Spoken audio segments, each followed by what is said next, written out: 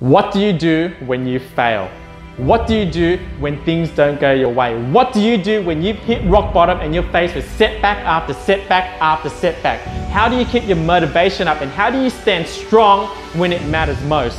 Look, for those of you that know my story, know that my life has completely exploded over the last couple of years where I've bounced back from near bankruptcy. I'm publishing my first book. I'm running a multi six figure coaching business. My seminars are booked out both in Sydney and Melbourne, and I've been lucky enough to have literally spent time with some of my greatest childhood heroes. But here's the truth of it all. Despite what everyone else sees, there is no gain without the pain, and people who are successful only briefly get rewarded in public for what they spend years practicing in private.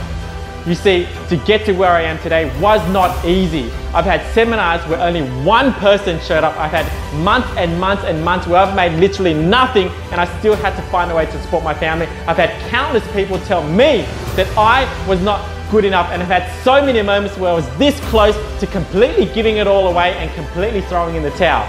But it's in those moments where you have to stand strong and look yourself in the eye and ask yourself, what am I made for? Because those are the moments where your character is tested. And those are the moments where you find out who you really are. And those are the moments where you find out what you're really made for. You see, so many people are so scared of failing that they don't even try. But it's never about not failing because that's just part of the game. The real question is how do you use failure to define you? How do you use setbacks to make you want more? How do you turn low points into high points and turn this situation to make you bigger, better, and stronger?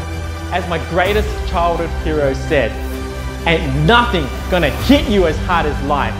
But it ain't about how hard you hit, it's about how hard you can get hit and keep pushing forward. It's about how much you can take and keep moving forward because that's how winning is done.